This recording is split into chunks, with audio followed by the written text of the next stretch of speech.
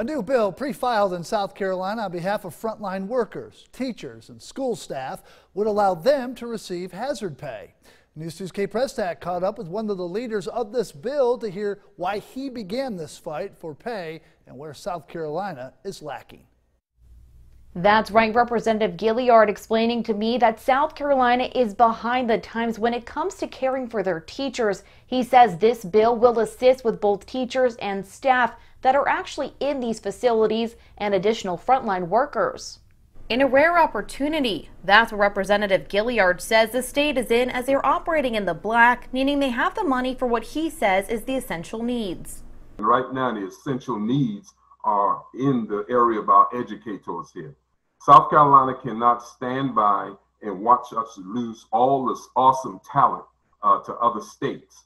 You know, we have to do what the other states have been doing for a long time, and that's paying them the value that they're worth.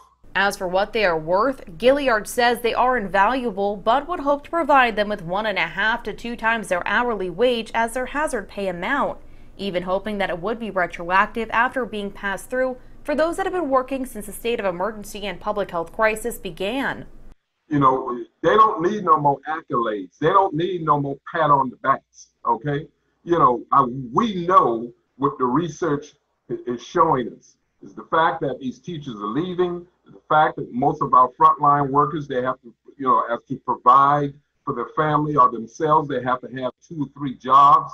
Okay, they're being gentrified. They have to go at a distance away from their jobs, things along that line. So we're going to have to take steps as to offset that. The pre-filed bill has also been seen by the state superintendent Molly Spearman. If enacted into law by the governor, it would go into effect almost immediately. In Charleston, I'm Kate Prestak. Count on two.